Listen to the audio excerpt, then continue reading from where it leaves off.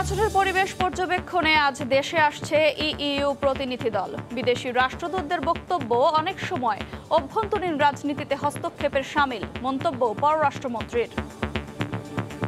বিদেশি রাষ্ট্রদূতরা দেশে আসেন, বাংলাদেশ এবং তার দেশের সম্পর্ককে উন্নতি করার জন্য। অনেক সময় এমন অবস্থা হয় যে এটা মনে হয় কেউ কেউ বলেন এটা ইন্টারনাল এফেয়ার্সে আপনার ইন্টারভেনশন আন্তর্জাতিক সম্প্রদায় চায় অবাধ ও সুষ্ঠু নির্বাচন। শুধু তত্ত্বাবধায়কেই তা সম্ভব দাবি মির্জা ফখরুলের।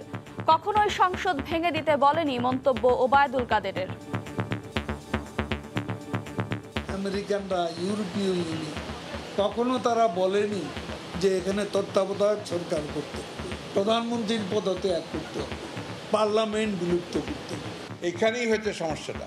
আওয়ামী লীগ খুব ভালো করে জানি। জনগণ একবার নিরপেক্ষভাবে ভোট দেওয়ার অধিকার পায়, তাহলে তাদেরকে যে তারা নির্বাচিত করবে না শুধু নয়, তারা যে রাজনৈতিকভাবে একদম নিশ্চিন্ত হয়ে যাবে, এটা ব্যাপারে তারা নিশ্চিত। দেখছিলেন প্রধান শিরোনাম, দুপুরের সময় সঙ্গে আছে আমি আফরোজা মৌটুসি। এবার অন্যান্য শীর্ষ সংবাদ।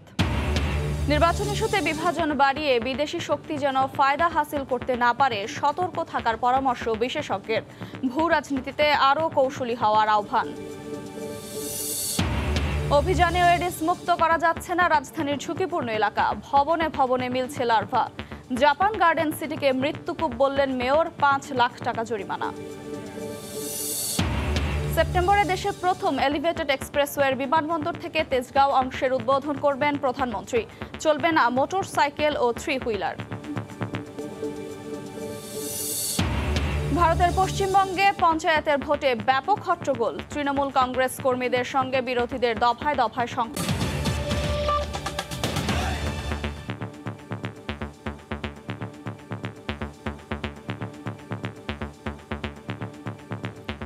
বিদেশি রাষ্ট্রদূতরা দুই দেশের সম্পর্ক উন্নয়ন না করে অভ্যন্তরীণ রাজনৈতিক বিষয়ে হস্তক্ষেপ করছেন বলে মন্তব্য করেছেন পররাষ্ট্রমন্ত্রী। সকালে রাজধানীর বেইলি রোডের ডি ক্যাপ টকে অংশ নিয়ে মন্ত্রী বলেন, বিএনপির সঙ্গে সংলাপ অর্থহীন। নির্বাচন নিয়ে বিদেশিদের কাছ থেকে ভালো প্রস্তাব পেলে গ্রহণ করবে সরকার, তবে অতীতে বিদেশিদের মধ্যস্থতায় কোনো লাভ হয়নি বলে মন্তব্য করেন পররাষ্ট্রমন্ত্রী। নির্বাচনের বাকি মাত্র ছয় মাস ব্যস্ততা বেড়েছে পশ্চিমা দেশের কূটনীতিকদের। দেশে আনাগোনা বেড়েছে বিদেশি উচ্চ পর্যায়ের ব্যক্তিবর্গের। শনিবার আসছেন ইউরোপীয় ইউনিয়নের নির্বাচন পরিবেশ অনুসন্ধানী দল। এর তিন দিন পরেই আসবেন মার্কিন পররাষ্ট্র মন্ত্রণালয়ের প্রভাবশালী দুই কর্মকর্তা। এরই মধ্যে শনিবার কূটনীতিক সাংবাদিকদের সংগঠন ডিক্যাবে আলোচনায় প্রথমবারের মতো যুক্ত হন পররাষ্ট্রমন্ত্রী। বলেন বিদেশি রাষ্ট্রদূতরা দেশে আসেন দুই দেশের সম্পর্ক উন্নয়ন করতে কিন্তু অনেক সময় তারা এমন সব মন্তব্য করেন, যা অভ্যন্তরীণ রাজনীতিতে হস্তক্ষেপের সামিল। বিদেশি রাষ্ট্রদূতরা দেশে আসেন, বাংলাদেশ এবং তার দেশের সম্পর্ককে উন্নতি করার জন্য। কীভাবে আরও শক্তিশালী উন্নত করা যায় সেই জন্য বাট অনেক সময় এমন অবস্থা হয় যে এটা মনে হয় কেউ কেউ বলেন এটা ইন্টারনাল এফেয়ার্সে আপনার ইন্টারভেনশন আর এই ব্যাপারে আপনাদের আপনারা তাদের সহায়ক হবেন না বলে আমার বিশ্বাস। সব ছাপিয়ে উঠে আসে নির্বাচন আর সংলাপ প্রসঙ্গ। পররাষ্ট্রমন্ত্রীর উত্তর সংলাপ অর্থহীন অংশগ্রহণমূলক নির্বাচনের জন্য উন্নত দেশেও রাজনৈতিক দলগুলোর মধ্যে সংলাপের নজির নেই। নির্বাচন হবে সংবিধান অনুযায়ী। কার সাথে সংলাপ? দুনিয়াতে অন্য আমেরিকাতে সংলাপ করে? রিপাবলিকান ডেমোক্রেটিক পার্টি ইলেকশন সংগ্রাম করে? ওখানে প্রেসিডেন্ট কি রিজাইন করেন? বিফোর দি ইলেকশন ইংল্যান্ডে প্রাইম মিনিস্টার কি রিজাইন করে বিফোর দি ইলেকশন আমি আমেরিকায় বহু বছর ছিলাম। সেইখানে state secretary runs the election state secretary যে দলের হয়, সেই দলের ওই স্টেটে ওইটা সে রান করে। তো ওইগুলো নিয়ে অবান্তর দুনিয়ার আর কোথাও ওই ধরনের কি আছে কেয়ারটেকার আছে এক্সেপ্ট আমি পাকিস্তান বোধহয় কিছুর জন্য জন্য ছিল। তো ওগুলো ইউজলেস আলোচনা। আমরা আমাদের আইন অনুযায়ী, আমাদের শাসনতন্ত্রে, আমাদের ইলেকশনের নিয়ম আছে। আমরা আমাদের ইলেকশনের নিয়ম অনুযায়ী আমাদের দেশে স্বচ্ছ সুন্দর ইলেকশন তবে সুষ্ঠু নির্বাচনের জন্য বিদেশিদের কাছ থেকে ভালো প্রস্তাব পেলে বিবেচনা করা হবে। জাতিসংঘ থেকে এখনও কোনো প্রস্তাব আসেনি তবে আগেও জাতিসংঘের মধ্যস্থতায় উপকার হয়নি বলেও মনে করিয়ে দেন পররাষ্ট্রমন্ত্রী। তাজওয়ার মাহমিদ সময় সংবাদ ঢাকা। নিয়ন্ত্রণহীন হয়ে পড়েছে ডেঙ্গু। জেলায় জেলায় এখন ভয়াবহ পরিস্থিতি। গত চব্বিশ ঘন্টায় ময়মনসিংহে আক্রান্ত একজনের মৃত্যু হয়েছে। বরিশালে একদিনে হাসপাতালে ভর্তি হয়েছেন পঁচিশ ডেঙ্গু রোগী। ডেঙ্গুর অবাধ বিচরণ রাজধানী ছাপিয়ে এখন জেলাগুলোতেও। প্রত্যন্ত অঞ্চলে দাপিয়ে বেড়াচ্ছে এডিস মশা। হাসপাতালে প্রতিদিন জ্বর নিয়ে ভর্তি হচ্ছেন নানা বয়সী রোগী। পরীক্ষা নিরীক্ষায় বেশিরভাগের শরীরেই মিলছে ডেঙ্গুর জীবাণু। এর মধ্যে বরিশালের অবস্থা ভয়াবহ।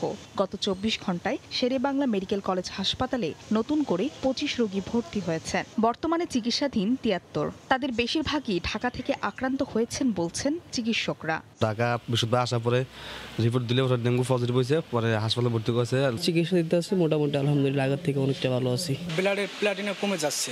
ডেঙ্গু ধরার পরে ধরা খাওয়ার পরে প্রায় চার দিন জ্বর ছিল।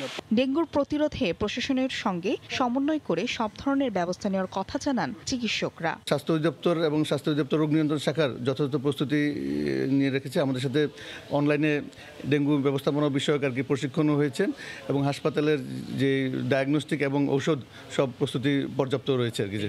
অন্যদিকে খুলনাতেও একদিনে চারজন সহ ভর্তি পঁচিশ রোগী। এছাড়া পটুয়াখালীতে চৌষট্টি জন ডেঙ্গু আক্রান্ত চিকিৎসা নিচ্ছেন। ফাহরিয়া ফারজানা, সময় সংবাদ। এই মুহূর্তে রাজধানীর সোহরাওয়ার্দী হাসপাতালে আছেন রিপোর্টার রাশেদ বাপ্পি, সরাসরি যাচ্ছি তার কাছে। দেশ জুড়ে ডেঙ্গুর প্রাদুর্ভাব বাড়তে থাকলেও কিন্তু মানুষের মধ্যে সচেতনতা সেই পর্যায়ে কিন্তু দেখা যাচ্ছে না, সেটি নিঃসন্দেহে স্বীকার করতে হবে। কারণ আমরা যে হাসপাতালগুলোতে যাচ্ছি প্রতিদিনই, প্রতিটি হাসপাতালেই দেখতে পাচ্ছি রোগীর সংখ্যা প্রতিনিয়ত বাড়ছে। ঠিক এই মুহূর্তে আছি আমরা রাজধানীর শহীদ সোহরাওয়ার্দী মেডিকেল কলেজ হাসপাতাল এবং এই হাসপাতালের এখন যে ওয়ার্ডটিতে আমরা রয়েছে, এখানে আটটি বেড রয়েছে। আটটি বেডের মধ্যে চারটি বেডের রোগী কিন্তু ঢাকার বাইরে থেকে এসেছে। আমরা খবর নিয়ে সেটি দেখেছি। অর্থাৎ বলা যায় যে ডেঙ্গু শুধু রাজধানী কেন্দ্রিক বা শহর কেন্দ্রিক নয়, এটি যে বিভিন্ন জায়গায় ছড়িয়ে পড়েছে, দেশের প্রত্যন্ত অঞ্চলে ছড়িয়ে পড়ছে, সেটি কিন্তু বলাই যায়। পাশাপাশি আমরা জানি যে পঞ্চাশটিরও বেশি জেলায় এরই মধ্যে ডেঙ্গু ছড়িয়ে পড়েছে। অর্থাৎ এই যে ডেঙ্গুর প্রাদুর্ভাবের কথা কিন্তু এই বছরের আগে থেকে কিন্তু বারবার বলা হচ্ছিল, যে বছর ডেঙ্গুর প্রাদুর্ভাব বাড়বে, সেটি কিন্তু বাস্তবে কিন্তু আমরা সেটি দেখতে পাচ্ছি।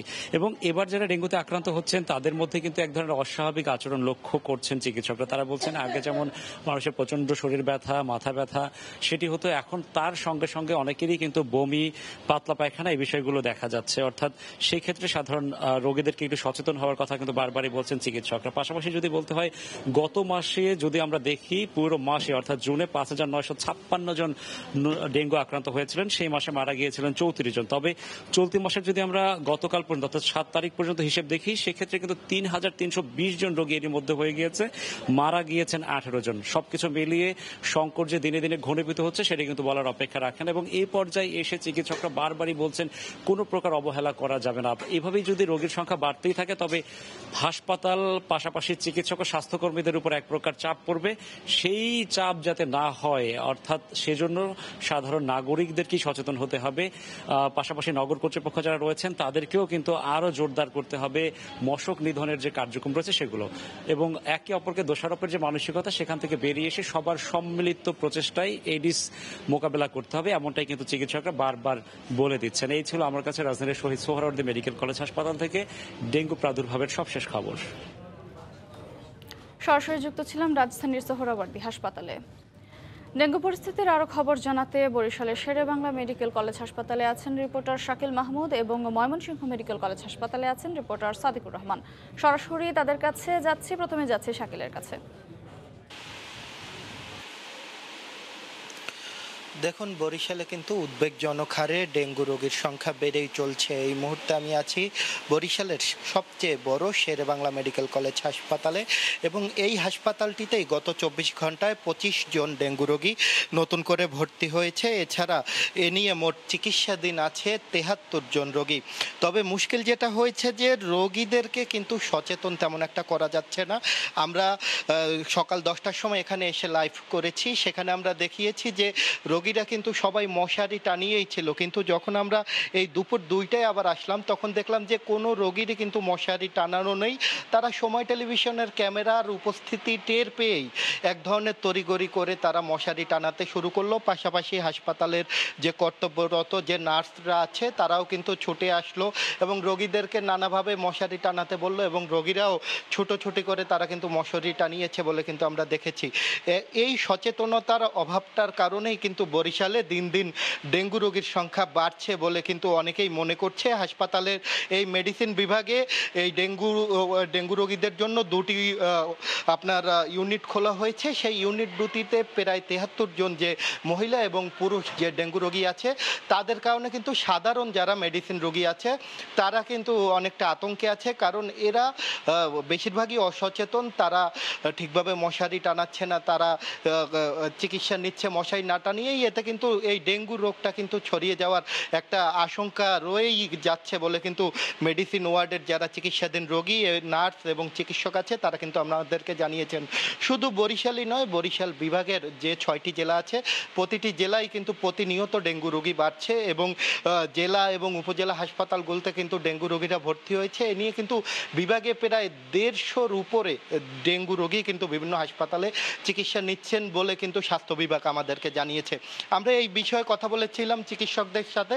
চিকিৎসকরা যেটা আমাদেরকে জানিয়েছে যে যে হাসপাতালে যারা যারা এখানে আছে ভর্তি রোগী, তারা কিন্তু বেশিরভাগই কিন্তু এই বরিশালের বাসিন্দা নয়। তারা কিন্তু হলো ঢাকার বাসিন্দা। এখানে এসে, আসলে বেড়াতে এসে বা বিভিন্ন কাজে এসে তারা এই ডেঙ্গুতে আক্রান্ত হয়েছে। তারপরে এই বরিশালে বিভিন্ন হাসপাতালে ভর্তি হয়েছে। এই বরিশালের মতো ময়মনসিংহেরও কিন্তু ডেঙ্গুর অবস্থা অনেকটা আশঙ্কাজনক। সেখানে আছেন সহকর্মী সাদেকুর রহমান। আমরা যাব সাদেকের কাছে, জানব ময়মনসিংহের পরিস্থিতি। সাদেক। দেশের বিভিন্ন এলাকার মতো কিন্তু ময়মনসিংহেও ডেঙ্গু আক্রান্ত হয়ে রোগীর সংখ্যা বাড়তে শুরু করেছে। ময়মনসিংহ মেডিকেল কলেজ হাসপাতালের যে মেডিসিন ওয়ার্ডগুলি আছে পাঁচটি মেডিসিন ওয়ার্ড সেখানে কিন্তু মোট রোগীর সংখ্যা চব্বিশ জন এ পর্যন্ত। এবং কিন্তু আসলে দেখা যায় ডেঙ্গু আক্রান্ত হয়ে যে এই যে অবনতির দিকে যাওয়া শুরু করেছে সেটা বোঝা যায় যে গত এক সপ্তাহে কিন্তু গতকালকে একজন মারা গেছেন। মোট এক সপ্তাহে দুইজন রোগীর মৃত্যু হয়েছে। গতকালকে রাতেও একজন রোগীর মৃত্যু হয়েছে যিনি আহ, তারাকান্দা উপজেলার বাসিন্দা। তিনি ডেঙ্গু আক্রান্ত হয়ে ময়মনসিংহ মেডিকেল কলেজ হাসপাতালে চিকিৎসাধীন ছিলেন। এখনও পর্যন্ত যারা আসলে হাসপাতাল কর্তৃপক্ষের সাথে আমরা কথা বলেছি, ডেঙ্গু রোগীর সংখ্যা যখন ষাট জনের মতো হয়ে যায় পঞ্চাশের বেশি হয়ে ষাট জন, তখন কিন্তু সেই সংখ্যাটা যখন দাঁড়ায়, তখন তারা ডেঙ্গু আক্রান্ত রোগীদেরকে চিকিৎসা দেওয়ার জন্য কিন্তু একটা আলাদা ওয়ার্ড তারা তৈরি করেন, আলাদা ইউনিট। সেটা কিন্তু এখনও পর্যন্ত হয়নি। তবে আশা করছেন সিটি কর্পোরেশনের পক্ষ থেকে কিন্তু এই ডেঙ্গু প্রতিরোধে জোর কার্যক্রম চালানো হয়েছে। জেলা প্রশাসনের পক্ষ থেকে কিন্তু বিভিন্ন সময় অভিযান পরিচালনা করা হচ্ছে। আমরা আসলে দেখেছি মানে নগরের বিভিন্ন ওয়ার্ডে যেসব জায়গায় আসলে মশার উপদ্রব, সেখানে ওষুধ ছিটিয়ে ডেঙ্গু নিধনের ডেঙ্গুর যে এডিস মশার লার্ভা ধ্বংসের জন্য কিন্তু কার্যক্রম চলছে। আসলে এই যে ডেঙ্গুর যে এই প্রতি বছর এই সময়টাতে বর্ষাকালে কিন্তু ডেঙ্গুর আক্রান্তের সংখ্যা কিন্তু বেড়ে যায় বিশেষ করে এই সময়টাতে বেশি আক্রান্ত হয় এবং সেজন্য দেখা যায় যে হাসপাতালগুলোতে কিন্তু কর্তৃপক্ষ বিশেষ ব্যবস্থা নেয় এবং এই ক্ষেত্রে আমরা ময়মনসিংহ মেডিকেল কলেজ হাসপাতালে যেটা দেখেছি যে আসলে এই ব্যবস্থাটা কিন্তু নেওয়া হয়ে থাকে। কিছুদিনের মধ্যে কিন্তু এই ব্যবস্থাটা নেওয়া হবে। অর্থাৎ ডেঙ্গু আক্রান্ত রোগীদের জন্য বিশেষ ইউনিট ব্যবস্থা করবে এবং সেখানে অক্সিজেন ব্যবস্থা থেকে শুরু করে সব ধরনের ফ্যাসিলিটি থাকবে। এবং আরেকটা বিষয় জানিয়ে রাখি যে আসলে এই যে ডেঙ্গু আক্রান্ত রোগী যারা আছেন তাদেরকে, তাদের মধ্যে কিন্তু অনেকেই আছে যারা ঢাকাতে বিভিন্ন জায়গায় কর্মরত এবং সেখানে আক্রান্ত হয়ে কিন্তু এই নিজ জেলা ময়মনসিংহে এসে এই হাসপাতালে এসে ভর্তি হচ্ছেন। এরকম রোগীর সংখ্যা কিন্তু অনেক রয়েছে। অর্থাৎ এইখানে যারা আছেন রোগী, তাদের মধ্যে অনেকেই আক্রান্ত হয়েছেন কিন্তু ঢাকায়। এই ছিল এখান থেকে সবশেষ তথ্য। ডেঙ্গু পরিস্থিতির খবর জানতে সরাসরি যুক্ত ছিলাম ময়মনসিংহ বরিশালে। অভিজাত আবাসিক এলাকা, চারপাশ সাজানো, গোছানো সুসজ্জিত, অথচ মিলছে এডিসেল লার্ভা। চোখের সামনে পানি জমে থাকলেও নেই ভবন কর্তৃপক্ষের কোনো উদ্যোগ। ঢাকা উত্তর সিটি কর্পোরেশনের মাসব্যাপী অভিযানের প্রথম দিনেই এমন ভয়াবহ অভিজ্ঞতার মুখোমুখি হতে হয় নগর কর্তৃপক্ষকে। অভিযানে মশার প্রজনন ক্ষেত্র পাওয়ায় জাপান গার্ডেন সিটিকে পাঁচ লাখ টাকা জরিমানা করে ভ্রাম্যমাণ আদালত। উপরে ফিটফাট, ভেতরে সদরঘাট। এক সময়ের বহুল প্রচলিত এই প্রবাদ বাক্য এখন আর সদরঘাটের সঙ্গে প্রযোজ্য না হলেও ঠিকই মিলে যায় জাপান গার্ডেন সিটির সঙ্গে। সারিবদ্ধ বহুতল ভবনের মাঝেই লুকিয়ে আছে মৃত্যুফাদ। এডিসের বংশবৃদ্ধির সহায়ক সব ক্ষেত্র। তেইশটি বহুতল ভবনের সমন্বয়ে গঠিত জাপান গার্ডেন সিটির বেশিরভাগ বাড়িতেই মিলেছে এডিসের লার্ভা। সব বাড়ির বেসমেন্টে গাড়ি ধোয়ার জমে থাকা পানিতেই জন্ম নেয় এডিস। চোখের সামনেই এডিসের এমন প্রজনন ক্ষেত্র, অথচ নির্বিকার ভবন মালিক ও বাসিন্দারা। অভিযোগ আছে, এডিসের প্রাদুর্ভাব ঘটা প্রতিটি বছরেই জাপান গার্ডেন সিটিতে পাওয়া যায় নানা অনিয়ম। প্রতিবারই খোঁজ মেলে এডিসের লার্ভার। সবগুলো বাড়ি মিলিয়ে চোদ্দ থেকে পনেরোটি অ্যাসোসিয়েশন থাকলেও মশা নিধনে কারণেই কোনো উদ্যোগ। নামে জাপান গার্ডেন সিটি, কিন্তু বেসিক্যালি এটি হয়েছে হচ্ছে যে লার্ভা গার্ডেন সিটি হয়ে গিয়েছে। ভিতরে হচ্ছে লক্ষ লক্ষ কোটি কোটি লার্ভা পাওয়া গিয়েছে। মশা তো বাইরে থেকে মশা আমার গার্ডেন দিতে হবে না পুরো ঢাকা শরীর মশা। আমরা দিলে মারলাম একটু পরেই তো আবার আসবে সেই মশা কি করব? অফিসে বলি যে ভাই একটু ফাঁকা মেশিন পাঠাই দিবেন। আগে এক বছর আগে পাঠাইতো কিন্তু আমি সত্যি করে বলতে পারি যে এক বছরের মধ্যে একদিনও ফাঁকা মেশিন পাঠাই নাই। জাপান সিটি কেমন যারা দায়িত্বে আছেন ওনাদেরকে আহ, পাঁচ লাখ টাকা জরিমানা করা হয়েছে বাংলাদেশ দণ্ডবিধি আঠারোশো ষাট এর দুইশো উনসত্তর ধারা অনুযায়ী পাঁচ লাখ টাকা জরিমানা করা হয়েছে। ওনাদের ছয় মাসের জেল। আর এতেই ধরা পড়ে একের পর এক এডিসের আবাসস্থল। ডেঙ্গু পরিস্থিতি এই মুহূর্তে খুবই ভয়াবহ। জাপান গার্ডেনের ভিতরে নিচে কিন্তু আমি দাঁড়িয়ে আমরা কিন্তু কেউ মশার চাষ হচ্ছে তাড়াতাড়ি করে কিন্তু সবাইকে আমি উপরে নিয়ে আসলাম। এটি অবিশ্বাসযোগ্য। কিন্তু এইসব জায়গাগুলোতে আমাদের সিটি কর্পোরেশনের লোকদের বিভিন্ন সোসাইটির ভিতরে গিয়ে জাপান গার্ডেনের ভিতরে তো পয়সা করা আমার দায়িত্ব না। এটা জাপান গার্ডেনের কর্তৃপক্ষ যারা আছে তাদের দায়িত্ব যেই সব বাসাতে এই অবহেলার জন্য আজকে আমাদের একটা মৃত্যু ঘটে সে এলাকার। অবশ্যই তাকে সেই দায়িত্ব নিতেই হবে। অভিযানে জাপান গার্ডেন সিটিকে পাঁচ লাখ টাকা জরিমানা করা হয়। জরিমানা টাকা দিতে অস্বীকৃতি জানালে আটক করা হয় দুইজনকে। জাপান গার্ডেন সিটির মতো বর্তমান সময়ে রাজধানীর অধিকাংশ আবাসিক এলাকায় যেন উপরে ফিটফাট, ভেতরে সদরঘাট। ডেঙ্গুর ভয়াবহ প্রাদুর্ভাবের মাঝে এমন অসচেতনতা চলতে থাকলে এর মাসুল গুনতে হতে পারে মূল্যবান জীবন দিয়েই। সেটি আর বলার অপেক্ষা রাখে না। রাশেদ বাপ্পি, সময় সংবাদ, ঢাকা। দেশের মানুষ ও আন্তর্জাতিক সম্প্রদায় সুষ্ঠু নির্বাচন চায় আর বর্তমান সরকারের অধীনে তা সম্ভব নয় বলে মন্তব্য করেছেন বিএনপি মহাসচিব মির্জা ফখরুল ইসলাম আলমগীর। এদিকে আওয়ামী লীগ সাধারণ সম্পাদক ওবায়দুল কাদের বলেছেন, আন্তর্জাতিক সম্প্রদায় সুষ্ঠু নির্বাচন চাইলেও সরকারের পদত্যাগ বা তত্ত্বাবধায়ক সরকারের কথা কখনোই বলেনি। দ্বাদশ জাতীয় সংসদ নির্বাচন ঘনিয়ে আসছে। তাই রাজনীতির মাঠে এখন আলোচনার বিষয়, কি প্রক্রিয়ায় হবে আগামী নির্বাচন? সরকারি দল আওয়ামী লীগ বর্তমান সরকারের অধীনেই নির্বাচন হবে বলে ঘোষণা দিলেও বিএনপির দাবি, নির্বাচন হতে হবে তত্ত্বাবধায়ক সরকারের অধীনে। শনিবার ঢাকা রিপোর্টার্স ইউনিটিতে ন্যাশনাল পিপলস পার্টি, এনপিপির প্রতিষ্ঠা বার্ষিকী উপলক্ষে আয়োজিত আলোচনা সভায় প্রধান অতিথির বক্তব্যে বিএনপি মহাসচিব মির্জা ফখরুল ইসলাম আলমগীর সরকারের বিতর্কিত কর্মকাণ্ডে দেশের ভাবমূর্তি নষ্ট হচ্ছে দাবি করে বলেন। আন্তর্জাতিক সম্প্রদায় দেশে সুষ্ঠু, অবাধ ও অংশীদারিত্বমূলক নির্বাচন চায়, আর তা সম্ভব তত্ত্বাবধায়ক সরকারের মাধ্যমেই। বাংলাদেশের মানুষ এখন প্রকাশ্যেই বলতে শুরু করেছে যে তোমরা প্রতারক তোমরা মিথ্যা কথা বলো। জনগণকে ভুল বুঝিয়ে এখন তোমরা জোর করে ক্ষমতায় থেকে জনগণের সমস্ত অধিকারগুলোকে হরণ করেছ। ঠিক একইভাবে আন্তর্জাতিক বিশ্ব প্রকাশ্যেই তারা বলছে যে বাংলাদেশে তার একটা অংশীদারিত্বমূলক সুষ্ঠু, অবাধ সকলের গ্রহণযোগ্য একটা নির্বাচন দেখতে চায়। এদিকে আওয়ামী লীগ বলছে যুক্তরাষ্ট্র সহ আন্তর্জাতিক সম্প্রদায় সুষ্ঠু নির্বাচনের কথা বলছে। কখনোই সংসদ ভেঙে দেয়া অথবা তত্ত্বাবধায়ক সরকারের কথা বলেনি। রাজধানীতে এক অনুষ্ঠানে বিএনপি সহ বত্রিশ দলের ঐক্যকে জগা খিচুড়ি আখ্যা দিয়ে আওয়ামী লীগের সাধারণ সম্পাদক ওবায়দুল কাদের বলেন বিরোধীদের আন্দোলনের ফল হবে অন্তঃসার শূন্য। আমেরিকানরা ইউরোপীয় ইউনিয়ন আমাদের সাথে যত বৈঠক হয়েছে কখনো তারা বলেনি যে এখানে তত্ত্বাবধায়ক সরকার করতে হবে। তারা কখনই বলেনি যে প্রধানমন্ত্রীর পদত্যাগ করতে হবে।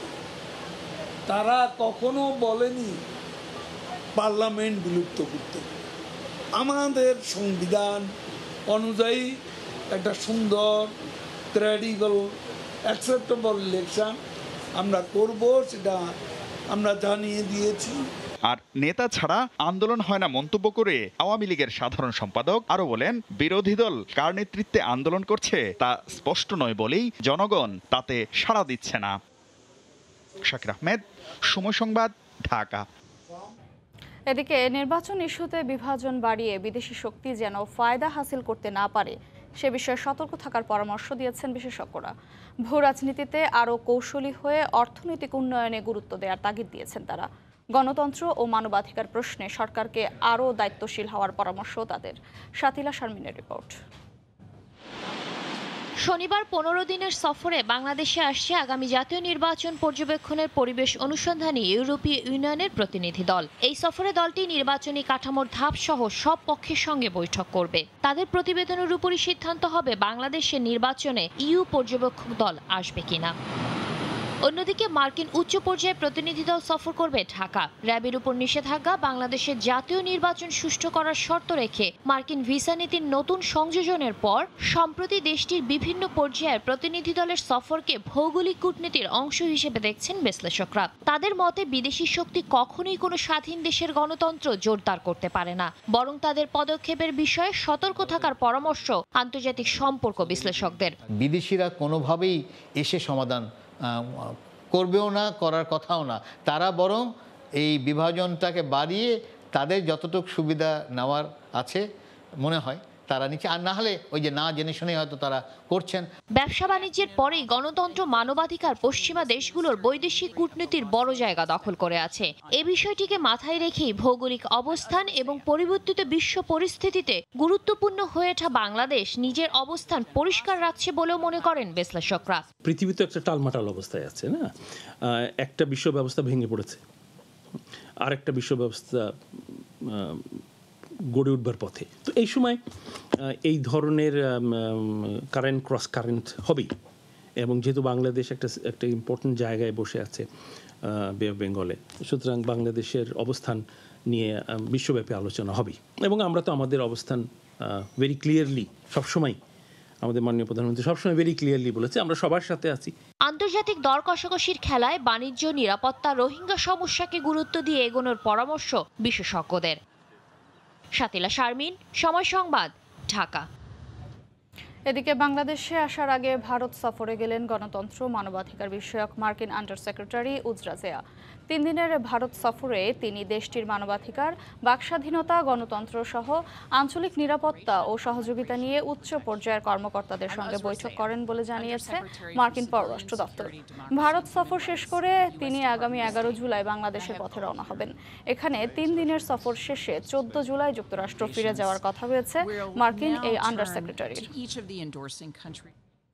সেপ্টেম্বরে চালু হচ্ছে দেশের প্রথম এলিভেটেড এক্সপ্রেসওয়ের একাংশ। উদ্বোধন করবেন প্রধানমন্ত্রী শেখ হাসিনা। বিমানবন্দর থেকে তেজগাঁও অংশের নব্বই ভাগের বেশি কাজ শেষ। প্রকল্পের কাজ পরিদর্শন করে কথা জানান সড়ক পরিবহন ও সেতুমন্ত্রী ওবায়দুল কাদের। এই অংশে টোল হবে একশো টাকা, তবে উঠতে পারবে না তিন ও দুই চাকার যানবাহন।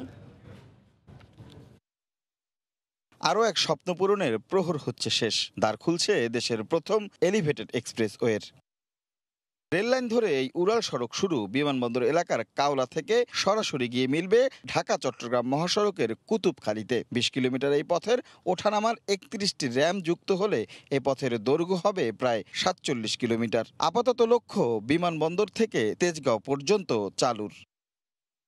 প্রকল্পের সার্বিক অগ্রগতি তেষট্টি ভাগ হলেও যে অংশে প্রাথমিক যাত্রা শুরু, সেই পথের কাজের অগ্রগতি নব্বই ভাগের বেশি। মাঝে দুই কিলোমিটার বাদ দিলে এই পথের পুরোটাই পিচ ঢালাই শেষ প্যারাপেড ওয়াল, সড়ক ডিভাইডারের কাজও শেষ, বসেছে সড়ক বাতিও। বাকি শুধু সাইনেজ আর সড়ক মার্কিং। শনিবার প্রথম পর্বের কাজ পরিদর্শনে আসেন সড়ক পরিবহন ও সেতু মন্ত্রী ওবায়দুল কাদের। সড়ক পরিবহন ও সেতু মন্ত্রী। কাওলা থেকে এক টানে চলে আসেন তেজগাঁও। জানান, সেপ্টেম্বরেই এই অংশে শুরু হবে যান চলাচল। উদ্বোধন করবেন প্রধানমন্ত্রী শেখ হাসিনা। আগামী সেপ্টেম্বর মাসে এলিভেটেড এক্সপ্রেসওয়ে বিমানবন্দর থেকে তেজগাঁও তেজগাঁওয়ে ফার্মগেট র্যাম্প পর্যন্ত যানবাহন চলাচলের জন্য উদ্বোধন করবেন মাননীয় প্রধানমন্ত্রী দেশরত্ন জননেত্রী শেখ হাসিনা। এই উড়াল সড়কে যেহেতু গতি থাকবে আশি কিলোমিটার তাই চলবে না। থ্রি হুইলার বাহন নিষেধাজ্ঞা থাকবে মোটর সাইকেল চলাচলেও। পুরো পথ পাড়ি দিলে একশো বিশ আর অন্য যে কোনো জায়গায় নামলে টোল দিতে হবে একশো টাকা। থ্রি হুইলার বাদ যাবে। মোটর সাইকেল এটাও চলবে অন্যান্য গাড়ি যাতায়াত। এক্সপ্রেস হয়ে এটা ভাবতে হবে। পিপিপির আওতায় আট হাজার নয়শো চল্লিশ কোটি টাকা খরচে এই প্রকল্পে সরকারের ব্যয় দু হাজার চারশো তেরো কোটি টাকা। আসছে সেপ্টেম্বরের যে সময়টাতে এমআরটি লাইন সিক্স উত্তরা থেকে মতিঝিলে গিয়ে পৌঁছাবে, ঠিক একই সময় এলিভেটেড এক্সপ্রেসওয়ের মাধ্যমে এই নগরবাসী বিমানবন্দর থেকে একটানে চলে যেতে পারবেন তেজগাঁওয়ে। তাই একথা নিশ্চিতভাবে বলা যায়, এই সেপ্টেম্বর নগরবাসীর জন্য এক আশীর্বাদ হয়েই ধরা দিচ্ছে। রাশেদ লিমন, সময় সংবাদ, ঢাকা। সেপ্টেম্বরে নয়, অক্টোবরে বিআরটি প্রকল্প আংশিকভাবে চালুর কথা ভাবছে কর্তৃপক্ষ। প্রাথমিকভাবে এগারোটি স্টেশন আর পঞ্চাশটি বাস দিয়ে চালুর পরিকল্পনা তাদের। চাইনিজ কোম্পানি হাইগার থেকে আসবে বাস। রাশেদ লিমনের আরও একটি রিপোর্ট। বিআরটি মানেই যেন দুর্ভোগ। বিআরটি মানেই ঘণ্টার পর ঘণ্টা রাস্তায় পার। গত কয়েক বছরের এমন অবস্থা থেকে কিছুটা মুক্তি মিলেছে টঙ্গী আবদুল্লাপুর আর বিমানবন্দর এলাকায় বেশ কিছু ওভারপাস চালুর ফলে। কথা ছিল, আসছে সেপ্টেম্বরে আংশিকভাবে চালু হবে বিআরটি প্রকল্প। তবে আবারও এক দফার সময় বাড়ালো কর্তৃপক্ষ। এক মাস বাড়িয়ে অক্টোবরে চালুর কথা ভাবছেন তারা। শিববাড়ি না হলে ভোগরা থেকে বিমানবন্দর পর্যন্ত প্রাথমিকভাবে চালুর পরিকল্পনা তাদের। এই পথে পঁচিশটি স্টেশনের মধ্যে এই দফায় এগারোটি চালুর কথা ভাবছেন তারা। মিড অক্টোবরে মোটামুটি আমাদের একটা প্ল্যান যে আমরা বাস চালু করে দেব। বাসও আংশিক পরিমাণে এবং ডিস্টেন্সটাতে আমরা পুরোটাই কভার করতে পারব। শিববাড়ি থেকে এয়ারপোর্ট পর্যন্ত পুরো সাড়ে বিশ কিলোমিটারের মধ্যে আমরা বাস চালাবো, কিন্তু সব স্টেশন আমরা রেডি করতে পারব না। সমস্যা যদি হয় চৌরাস্তায়, সেক্ষেত্রে হয়তো আমরা ভোগরা সাউথ বা নর্থ পর্যন্ত দিয়ে শুরু করতে পারি। সেই লক্ষ্যে সব ঠিক থাকলে চাইনিজ কোম্পানি হাইগারকে দেয়া হচ্ছে বাসের দায়িত্ব। প্রাথমিক পর্যায়ে সেপ্টেম্বরেই পঞ্চাশটি বাস সরবরাহ করবে তারা। তা থেকেই চালু হবে এই পথে বিআরটি লট দিতে হবে, কিন্তু এইটা অন্য কারও পক্ষে সম্ভব না। ওদের এই হিউজ ক্যাপাসিটি ওরা এটা দিতে পারবে। ওরা তো আমাদের স্পেসিফিকেশন অনুযায়ী বানিয়ে দেবে। সেই ক্যাপাসিটি ওদের অন্য সব ক্যাপাসিটিই আছে। প্রথম লটে আমরা চেয়েছি পঞ্চাশ, আর তিন মাস পরে সেকেন্ড লটে পঞ্চাশ, আর পরের তিন মাসে আবার বাকি থার্টি সেভেন পুরোপুরি চালু হতে দু হাজার পঁচিশ সালের শেষ পর্যন্ত অপেক্ষা করতে হবে বলেও জানিয়েছে বিআরটি কর্তৃপক্ষ। রাশেদ লিমন, সময় সংবাদ, ঢাকা। বিদেশি কোনো প্রতিষ্ঠান নয়, গভীর সাগর থেকে পাইপলাইনের মাধ্যমে তেল খালাসের সিঙ্গেল পয়েন্ট মুরিং পরিচালনার দায়িত্ব নিতে চায় চট্টগ্রাম বন্দর কর্তৃপক্ষ। আর এই কাজের জন্য প্রস্তুত করা হচ্ছে গভীর সাগর থেকে জাহাজ ঠেলে পয়েন্টে নেয়ার টাকবোট কান্ডারি এবং অয়েল ট্যাঙ্কার পাইলটিংয়ের জন্য দক্ষ পাইলট এতে বছরের সাশ্রয় হবে একশো কোটি টাকার বেশি। বিস্তারিত জানাচ্ছেন কমল দে বিশাল আকৃতির তেলের জাহাজ ভিড়িয়ে একদিকে চলছে সিঙ্গেল মুরিং পয়েন্ট বা গভীর সাগর থেকে পাইপের মাধ্যমে তেল খালাসের পরীক্ষা। অন্যদিকে চলছে প্রধানমন্ত্রীকে দিয়ে আনুষ্ঠানিক উদ্বোধনের প্রস্তুতি। পৃথিবীর যত বড় জাহাজ হোক না কেন, তা পরিচালনার সক্ষমতা অর্জন করেছে চট্টগ্রাম বন্দর কর্তৃপক্ষ। এই বন্দরের পাইলটটা যেমন দক্ষ, ঠিক তেমনি এ দক্ষ কাজে সহযোগিতা করছে এ ধরনের অসংখ্য কাণ্ডারি। মূলত এই কাণ্ডারির মাধ্যমে বিশাল আকৃতির মাদার ভেসেল ও এল ট্যাঙ্কারগুলোকে ধাক্কি দিয়ে নিয়ে যাওয়া হয় উপকূল কিংবা এই গভীর সাগরে। উদ্বোধনের আনুষ্ঠানিকতা কাছাকাছি চলে আসলো। এখনও সিদ্ধান্ত হয়নি কীভাবে আট হাজার কোটি টাকার এই প্রকল্প পরিচালিত হবে। তবে পরীক্ষামূলক প্রস্তুতি হিসেবে সফলভাবে বিরাশি হাজার মেট্রিক টন তেল বহনকারী প্রথম জাহাজ বেরিয়ে বন্দর কর্তৃপক্ষ আগ্রহী হয়ে উঠেছে সিঙ্গেল পয়েন্ট মুরিং পরিচালনায়। ম্যান পাওয়ার রয়েছে জলযান রয়েছে ইকুইপমেন্ট রয়েছে অভিজ্ঞতা রয়েছে। তো সেখানে আর আমার মনে হয় না আর বাইরে কারোর সহায়তা আমাদের লাগবে। পোস্ট পাইলটিক সার্ভিস, যেটাকে আমরা মুরিং সার্ভিস বলি, সেটা আমরা প্রদান করব। এবং এই প্রদানের ফলে সরকারের বছ- বছরে একশো কোটি টাকার উপরে সাশ্রয় হবে। বাংলাদেশ পেট্রোলিয়াম কর্পোরেশন, বিপিসির এই প্রকল্পের আওতায় গভীর সাগর থেকে মহেশখালের মাতার বাড়ি, সেখান থেকে চট্টগ্রামের ইস্টার্ন রিফাইনারি স্থাপন করা হয়েছে। একশো ষোলো মিটার দীর্ঘ পাইপলাইন অবশ্য কান্ডারি হিসেবে পরিচিত। বন্দরের এক থেকে দুটি টাকবোর্ডের মাধ্যমে পুশ আপ করে জাহাজগুলিকে জেটিতে ভেড়াতে হয়। সিঙ্গেল পয়েন্ট মুড়িংয়ে দুশো মিটার দীর্ঘ ওয়েল ট্যাঙ্কারকে ভেড়াতে তিনটি টাকবোটের প্রয়োজন হয়েছিল। চট্টগ্রাম বন্দরের পূর্ণ সক্ষমতা আছে এই এসপিএম এর এই জাহাজের হ্যান্ডেল করার জন্য। গভীর সাগর থেকে পাইপের মাধ্যমে তেল খালাস আনুষ্ঠানিকভাবে শুরু হলে বছরে বিবিসির অন্তত আটশো কোটি টাকা যেমন সাশ্রয় হবে, তেমনি তেল খালাসের সময় তিরিশ দিন থেকে নেমে আসবে মাত্র দুই দিনে। কমল দে, সময় সংবাদ, চট্টগ্রাম। লালমনিরহাটে আবারও বিপদ সীমার উপরে বইছে তিস্তা। আতঙ্কে ভাটি অঞ্চলের বাসিন্দারা। ইতিমধ্যে তলিয়ে গেছে বেশ কিছু গ্রামের রাস্তা। বিস্তারিত জানাতে এই মুহূর্তে সদর উপজেলার বাগডোরা এলাকায় আছেন রিপোর্টার জিআই সমাপ্ত। সরাসরি যাচ্ছি তার কাছে। পানি রাত থেকে ধীরে ধীরে বৃদ্ধি পাওয়ার ফলে যে তিস্তা ব্যারেজ পয়েন্টে কিন্তু পানি বৃদ্ধি পেতে শুরু করেছে সকাল থেকে আজ সকাল নয়টায় পানি বিপদসীমার পাঁচ সেন্টিমিটার উপর দিয়ে প্রবাহিত হচ্ছিল। তবে বর্তমানে পানি বিপদসীমার ছুঁই ছুঁই অবস্থায় থাকলেও যে নদী তীরবর্তীতে চরাঞ্চলগুলো রয়েছে, সেখানে কিন্তু রাস্তাঘাটে কিন্তু ইতিমধ্যেই পানি ঢুকে পড়েছে। তবে বসত বাড়িতে এখনও পানি না ঢুকলেও যে এই এলাকার লোকজনরা কিন্তু তারা আতঙ্কিত রয়েছেন। আর আমরা কিন্তু সকাল যে সাড়ে দশটার দিকে এই নদী এলাকায় এসে দেখতে পেরেছি যে লালমনিরহাট সদর উপজেলার যে কালমাটি এলাকা রয়েছে, সেখানে সুলতান নামে এক কৃষকের কিন্তু তার ফসলি ক্ষেতের যে পাট ছিল তা নিয়ে আসতেছিল এ সময় তার নৌকাটি কিন্তু ডুবে যায়। আর পরে কিন্তু তার পাটগুলো ভেসে যায় এবং নৌকাটাও কিন্তু নিখোঁজ হয়ে পড়ে। আর এই পানি কিন্তু বৃদ্ধি পাওয়ার ফলে দেখা গেছে যে পানি বৃদ্ধি পাওয়ার ফলে যে ব্যারেজ পয়েন্টে রয়েছে, সেখানে কিন্তু চুয়াল্লিশটি জল কপাট খুলে দিয়ে কিন্তু পানি নিয়ন্ত্রণ করতেছেন ব্যারেজ কর্তৃপক্ষ। আমরা এই পানি বৃদ্ধির ব্যাপারে পানি উন্নয়ন বোর্ডের সাথে কথা বলেছি। তারা জানিয়েছেন যে, হঠাৎ করে ভারতের গদল্লোবার ব্যারেজের গেট খুলে দেওয়ার ফলে কিন্তু এই রাত থেকেই পানি বৃদ্ধি পেতে শুরু করে। তবে জল ব্যারেজ পয়েন্টের সবকটি জল কপাট খুলে দিয়ে এই পানি নিয়ন্ত্রণ করাতে কিন্তু ধীরে ধীরে পানি কমে আসতে শুরু করেছে। আর এই পানি বৃদ্ধিতে কিন্তু বন্যার কোনো আশঙ্কা নেই বলে তারা আমাদেরকে জানিয়েছে। তবে এই বন্যার আশঙ্কা না থাকলেও কিন্তু যে এই চর এলাকার লোকজন তারা কিন্তু প্রচুর আতঙ্কিত রয়েছেন।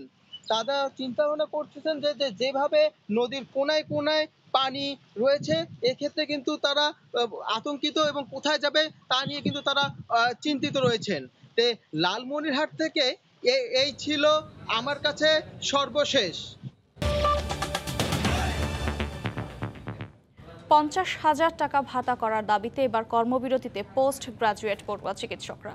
দাবি নামানো পর্যন্ত কর্মবিরতি চলবে বলেও হুঁশিয়ারি দিয়েছেন তারা। কেন্দ্রীয় শহীদ মিনারে অবস্থান কর্মসূচিতে এই ঘোষণা দেন চিকিৎসকরা। এদিকে মন্ত্রণালয়ে স্মারকলিপি দিয়ে চিকিৎসকদের ক্লাসে ফেরার আহ্বান জানিয়েছেন বঙ্গবন্ধু শেখ মুজিব মেডিকেল বিশ্ববিদ্যালয়ের উপাচার্য। শনিবার সকালে বিষণ্ন মনে কেন্দ্রীয় শহীদ মিনারের সামনে বসে আছেন ঢাকা মেডিকেল কলেজের মনোরোগ বিভাগের প্রশিক্ষণার্থী চিকিৎসক ডাক্তার লিসান। তিনি জানান, দেশের মানুষকে মানসিক প্রশান্তি দেওয়ার কথা থাকলেও নির্ধারিত পারিশ্রমিকের চিন্তা থেকে নিজের মানসিক অবস্থার কথা। মানুষের মনোরোগ নিয়ে চিকিৎসা করার জন্য চেষ্টা করছি শিখছি এবং কিন্তু এই জায়গাটা আসলে আমাদের সিচুয়েশন এত খারাপ যে এখন আমরা নিজেরাই খুব মনোযন্ত্রণায় আছি। এদিন ভাতা বাড়িয়ে বিশ হাজার টাকা থেকে পঞ্চাশ হাজার টাকা করার দাবিতে কেন্দ্রীয় শহীদ মিনারে অবস্থান কর্মসূচি পালন করেন বেসরকারি পোস্ট গ্রাজুয়েট প্রশিক্ষণার্থী চিকিৎসকরা। এ সময় দাবি আদায় না হওয়া পর্যন্ত সারা দেশে কর্মবিরতি চালিয়ে যাওয়ার ঘোষণা দেন তারা। আমরা সারা বাংলাদেশে সকল পোস্ট গ্রাজুয়েট ট্রেনিরা একসাথে একযোগে কর্মবিরতিতে যাচ্ছি। কোনো লিখিত প্রজ্ঞাপন না আসা পর্যন্ত চলবে এবং এই কর্মবিরতির সাথে প্রতিদিন স্পেশাল কর্মসূচি প্রদান করা হবে। তারা জানান সারা দেশে প্রায় দশ হাজার প্রশিক্ষণার্থী চিকিৎসক রয়েছেন। হাসপাতালে নিয়মিত সেবা দেওয়ার পাশাপাশি পড়াশোনাও করতে হয় তাদের। তবে মাস শেষে সম্মানী পান মাত্র বিশ হাজার টাকা। এ বিষয়ে কর্তৃপক্ষ বারবার আশ্বাস দিলেও মেলেনি আশার আলো। তাই বাধ্য হয়েই নিতে হয়েছে কর্মবিরতির সিদ্ধান্ত। সভ্য দেশে এক ঝাঁক তরুণ মেধাবী ডাক্তার কখন রাস্তায় নামে? যখন তাদের দেয়ালে পিঠ থেকে যায়। আমাদের প্রাইভেট প্র্যাকটিসও আমাদের ইয়া থেকে নিষেধ করা হয়েছে। তো এরকম একটা অবস্থায় এই বিশ হাজার টাকা দিয়ে আমার সন্তান সহ আমার বাবা মা সহ ওয়াইফ সহ ঢাকা শহরে আমি বা একটা জেলা শহরে কীভাবে বাসা ভাড়া নিয়ে থাকব কীভাবে বা তাদের আমি দাবিগুলো পূরণ করব আমি নিজের জন্যই বা কি করব? যারা বিভিন্ন ইনস্টিটিউটে কাজ করছি। আমাদের ডাক্তারদের ভিতর এই অর্থনৈতিক অবস্থা এটার জন্য আমরা নিজেরাই বিষণ্ণতা বা সবসময় আমরা অর্থনৈতিক কষ্টে আছি। আমাদের আত্মহত্যার পরিমাণ অনেক বেশি। কেন আমরা মেধাবী ছাত্র হয়ে কেন আমরা এভাবে আত্মহত্যা করব? এটা তো আমরা চাই না। কিছু দরকার যদি আমাদের সময় মতো দেওয়া তাদের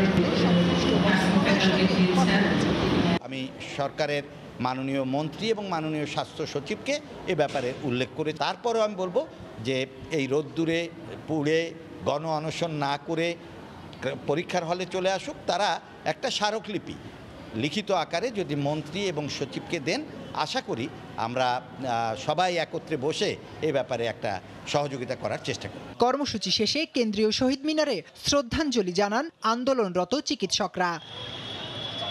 জাওয়াদন্তু সময় সংবাদ ঢাকা। দেশের বাইরের খবর। গুলি, বোমা হামলা, অগ্নিসংযোগ, ভাঙচুর ছাড়াও ব্যালট বক্স লুট করে পুড়িয়ে দেওয়ার মতো ঘটনার মধ্য দিয়ে চলছে পশ্চিমবঙ্গ রাজ্যের পঞ্চায়েত নির্বাচনের ভোটগ্রহণ। মুর্শিদাবাদ, কোচবিহার সহ কয়েকটি জেলায় সংঘাতে এখন পর্যন্ত নয় জনের মৃত্যুর খবর নিশ্চিত করেছে ভারতীয় গণমাধ্যম। বিশ্বজিৎ দাসের ক্যামেরা বিস্তারিত জানাচ্ছেন সুব্রত আচার্য। ততই বাড়তে থাকে পূর্ব বর্ধমান, মুর্শিদাবাদ, মালদা ছাড়াও কোচবিহার জেলার বেশ কিছু ভোট কেন্দ্রে শাসক এবং বিরোধী রাজনৈতিক দলের মধ্যে রক্তক্ষয়ী সংঘর্ষে প্রাণ হারান বেশ কয়েকজন। ভোট পরিচালনার জন্য রাজ্য জুড়ে কেন্দ্রীয় বাহিনী মোতায়েন রয়েছে। এরপরও সহিংসতার ঘটনায় ঢালাওভাবে রাজ্যটির শাসক দল তৃণমূল কংগ্রেসকে দায়ী করছে বিরোধী রাজনৈতিক শিবির। তৃণমূলী গুন্ডারা বাইক এসে হামলা করে এই অবস্থা করেছে। পুলিশ নিষ্ক্রিয় কোনো কাজ করতে পারছে না। আমি তৃণমূলের লোক বলে আমাকে পশ্চিমবঙ্গের পঞ্চায়েত নির্বাচনে ভোট হচ্ছে ব্যালট পেপারে। অনেক জায়গায় সকাল থেকেই দীর্ঘ লাইনে দাঁড়িয়ে ভোট দিয়েছেন ভোটাররা। নির্বিঘ্নে ভোট দিতে পেরে খুশি তারাও। আমাদেরও সমস্যা হয়নি যারা লাইনে দাঁড়িয়েছে তাদেরও কোনো সমস্যা এখন অবধি হচ্ছে না দেখছি। আশা করি যেন না হয়। আমাদের এখানে কোনোদিন সেরকম কোনো দূর ঝামেলা হয়নি। রাজ্যে পঞ্চায়েত ভোটের আসন তিয়াত্তর হাজার আটশো সাতাশিটি। নির্বাচনে প্রতিদ্বন্দ্বিতা করছেন প্রায় দু লাখ প্রার্থী। কলকাতার অদূরে দক্ষিণ চব্বিশ পরগনার ভাঙর কেন্দ্রে এসে দেখা গেল এমন সাধারণ চিত্র। তবে ভাঙর এই অঞ্চল ছাড়া বাকি রাজ্যে কিন্তু সহিংসতায় রক্তপাত ঝরল এবং প্রাণহানির ঘটনাও ঘটল। জানিয়ে বড়সড় প্রশ্নচিহ্ন এঁকে দিল গণতন্ত্রের কপালে। ভাঙর থেকে সুব্রত আচার্য, সময় সংবাদ। পঞ্চায়েত ভোটের সবশেষ খবর জানাতে এই মুহূর্তে পশ্চিমবঙ্গের উত্তর চব্বিশ পরগনায় আছেন সহকর্মী সুব্রত আচার্য। সরাসরি যাচ্ছি তার কাছে। পশ্চিমবঙ্গে গ্রাম পঞ্চায়েত রয়েছে বাষট্টি হাজারেরও কিছু বেশি।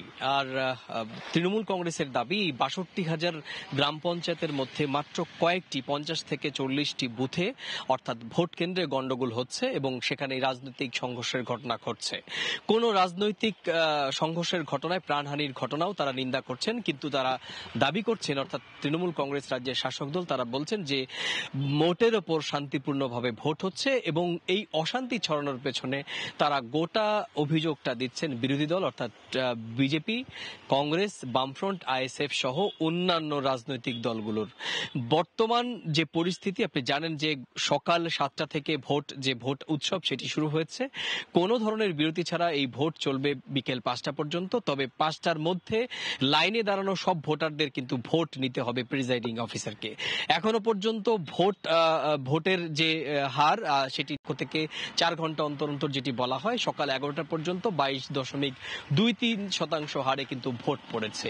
বেসরকারি গণমাধ্যম বলছে যে, ভোট চলাকালীন সময় এখনও পর্যন্ত নির্বাচন, ভোট সহিংসতায় বলি হয়েছেন। পাঁচজন গতকাল রাতেও বেশ কয়েকজনের হতাহতের ঘটনা ঘটেছে এবং আপনি জানেন যে, নির্ঘণ্ট প্রকাশের পর থেকেই প্রায় সতেরো জনের মৃত্যুর ঘটনা কিন্তু রাজ্যের এই পঞ্চায়েত ভোটকে ঘিরে ঘটেছে। এবার আসা যাক যে, এই ভোট সন্ত্রাস চলছে। এর মধ্যেও শান্তিপূর্ণ ভোট যে সমস্ত জায়গায় হয়েছে, সেই সমস্ত জায়গায় সকাল থেকে আমরা ঘুরে বেরিয়েছি যেমন আমি এই মুহূর্তে রয়েছি উত্তর চব্বিশ পরগনার লস্করাটি। সেখানে আপাত দৃষ্টিতে শান্তিপূর্ণ একটি ভোট কেন্দ্র। সকাল থেকে এখানে প্রচুর সংখ্যক মানুষ ভোট দিয়েছেন। জানেন, দুপুরে অনেকে খাবার টাইম সে কারণে খানিকটা ভোটের ভোটের যে লাইন সেটি দেখা যায় না। আমিও কিন্তু আমার পাশে যে লস্করাটি ভোট কেন্দ্রটি রয়েছে, সেখানে কিন্তু লাইন নেই। তবে রাজনৈতিক কর্মীরা সেখানে রয়েছেন, যেটি বরাবর বরাবরে ভাবে আমরা যে ছবিটা দেখে থাকি সেটি। কিন্তু এইটা ছিল এটা তো স্বাভাবিক চিত্র। বাকি চিত্রগুলো কিন্তু আমরা দেখেছি যে কোচবিহার, মুর্শিদাবাদ, মালদা, উত্তর এবং দক্ষিণ চব্বিশ পরগনার বেশ কিছু এলাকা থেকে কিন্তু সহিংসতার খবর এসছে। তো সব মিলিয়ে রাজ- রাজ্যের প্রধান বিরোধী দল, দলীয় নেতা শুভেন্দু অধিকারী কালীঘাটে কালীঘাট অর্থাৎ মমতা বন্দ্যোপাধ্যায় বাড়ি ঘেরাও করার কর্মসূচি ঘোষণা করেছেন। তো সব মিলিয়ে নির্বাচনের গতি প্রকৃতি কোন দিকে যায় সেটি অবশ্য বিকেল পাঁচটা পর্যন্ত আমাদের নজর থাকবে। তো এই ছিল আমার কাছে পশ্চিমবঙ্গে তিন স্তরের পঞ্চায়েত নির্বাচনের ভোট গ্রহণ প্রক্রিয়ার শেষ শেষ অংশের আমার কাছে থাকা সবশেষ তথ্য। পঞ্চায়েত ভোটের খবর জানতে সরাসরি যুক্ত ছিলাম ভারতের পশ্চিমবঙ্গে। অবশেষে ইউক্রেনকে নিষিদ্ধ গুচ্ছ বোমা দেওয়ার সিদ্ধান্ত নিয়েছে যুক্তরাষ্ট্র। রাশিয়ার বিরুদ্ধে পাল্টা আক্রমণ জোরদার ও কিয়েভের গোলা বারুদ ফুরিয়ে আসায় এই বোমা সহায়তা দেওয়া হচ্ছে বলে জানিয়েছে ওয়াশিংটন। বাইডেন প্রশাসনের এমন সিদ্ধান্তের বিরোধিতা করেছে জাতিসংঘ। এদিকে শস্য চুক্তি নবায়ন করতে ইস্তাম্বুলে পৌঁছেছেন ইউক্রেনের প্রেসিডেন্ট। দুই রাষ্ট্রপ্রধানের বৈঠক নিবিড়ভাবে পর্যবেক্ষণ করা হচ্ছে বলে জানিয়েছে মস্কো।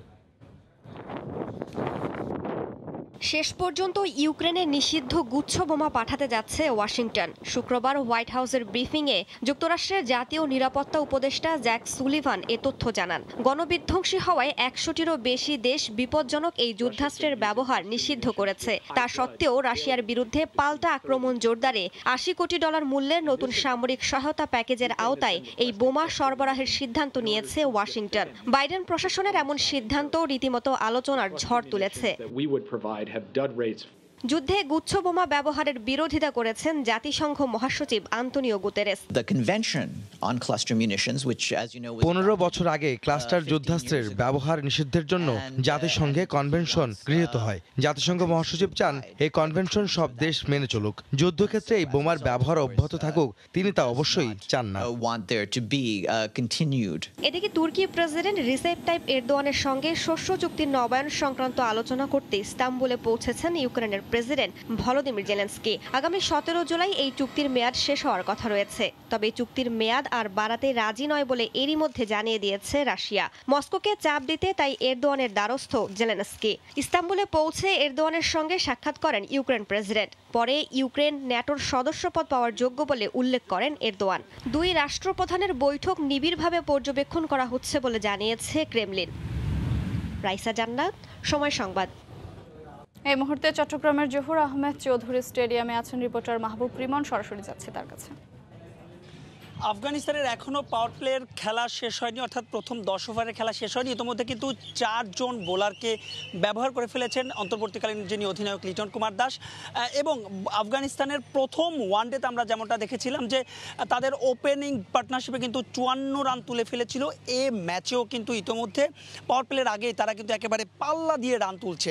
বলছিলাম যে আফগানিস্তানের কথা বলছিলাম যে আফগানিস্তানের ব্যাটিংয়ের কথা, সিরিজে কিন্তু বাংলাদেশ ইতোমধ্যে এক শূন্য ব্যবধানে পিছিয়ে আছে আফগানদের বিপক্ষে ওয়ানডেতে কখনোই বাংলাদেশ সিরিজ হারেনি, সেক্ষেত্রে কিন্তু আজকে বাংলাদেশকে জিততেই হবে। যদি সিরিজ বাঁচাতে চান টাইগাররা, তবে সেক্ষেত্রে কিন্তু টস ভাগ্য শুরুতেই বাংলাদেশের পক্ষে এসেছিল এবং প্রথম ম্যাচে যেহেতু বলছিলাম যে বৃষ্টির একটা সংখ্যা রয়েছে, প্রথম ম্যাচে যেমনটা দেখেছিলাম, আগে ব্যাট করে বোলার একটা আলাদা সুবিধা পেয়েছিল। আফগানিস্তান দল টস জিতে ফিল্ডিং নিয়েছিল। আজকের ম্যাচে লিটন কুমার দাস, তিনি কিনা টস জিতে তিনিও ফিল্ডিং সিদ্ধান্ত নিয়েছিলেন। বলছিলাম নাইম শেখের কথা, দুই বছরের বেশি সময় পর নাইম শেখ কিন্তু আবারও জাতীয় দলের যে স্কোয়াড রয়েছে সেই স্কোয়াডে ফিরেছেন এবং তাসকিন আহমেদকে কিন্তু বিশ্রাম দেওয়া হয়েছে এবং তার পরিবর্তে এবাদতকে একাদশের সুযোগ দেওয়া হয়েছে। কিন্তু আসলে স্পিনার বোলা স্পিনার কিংবা পেসার কেউ কিন্তু খুব একটা সুবিধা করতে পারছে না। যে উইকেটে খেলা হচ্ছে, চট্টগ্রাম আমরা জানি যে বরাবরই ব্যাটিং সহায়ক উইকেট যদিও প্রথম ম্যাচে বাংলাদেশ দল এই উইকেটে কিন্তু ঢুকেছিল তবে আফগানিস্তানের আসলে যেভাবে আফগানিস্তানের দুই ওপেনার রানকে বড় একটা সংগ্রহের একটা ভিত এনে দিয়েছে, তাতে বলাই বাহুল্য যে হয়তোবা তারা বড় স্কোরের দিকে এগুচ্ছে। এখন দেখার বিষয়, বাংলাদেশ কত দ্রুত সম্ভব আফগানিস্তানকে কত স্বল্প রানের মধ্যে কিন্তু বেঁধে রাখতে পারে। জানেন যে তামিম ইকবাল খেলছেন না নিয়মিত অধিনায়ক।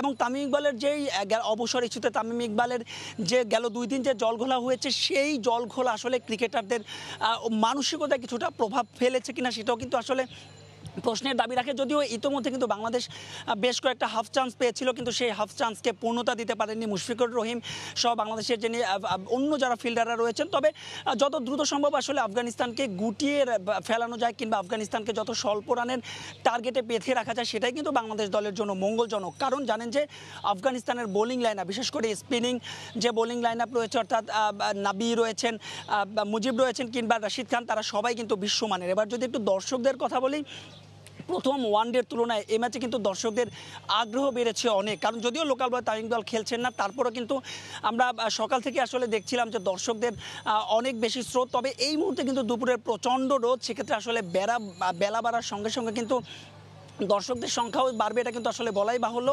এবং স্টেডিয়ামের বাইরে দেখছি যে আমরা দর্শকদের অনেক দীর্ঘ লাইন। তবে ওই যে বলছিলাম যে যত দ্রুত আফগানিস্তানকে যত অল্প রানে বেঁধে রাখা যায়, সেটাই বাংলাদেশের জন্য ইতিবাচক। তো এই ছিল আমার কাছে বাংলাদেশ আফগানিস্তান ম্যাচের চট্টগ্রাম থেকে সবশেষ সরাসরি যুক্ত ছিলাম চট্টগ্রামের জহুর আহমেদ চৌধুরী স্টেডিয়ামে। এ পর্যায়ে শীর্ষ সংবাদ জানিয়ে দিচ্ছি আরেকবার। নির্বাচনের পরিবেশ পর্যবেক্ষণে আজ দেশে আসছে ইইউ প্রতিনিধি দল। বিদেশি রাষ্ট্রদূতদের বক্তব্য, অনেক সময় অভ্যন্তরীণ রাজনীতিতে হস্তক্ষেপের সামিল, মন্তব্য পররাষ্ট্রমন্ত্রীর। আন্তর্জাতিক সম্প্রদায় চায় অবাধ ও সুষ্ঠু নির্বাচন, শুধু তত্ত্বাবধায়কেই তা সম্ভব, দাবি মির্জা ফখরুলের। কখনোই সংসদ ভেঙে দিতে বলেনি মন্তব্য ওবায়দুল কাদেরের।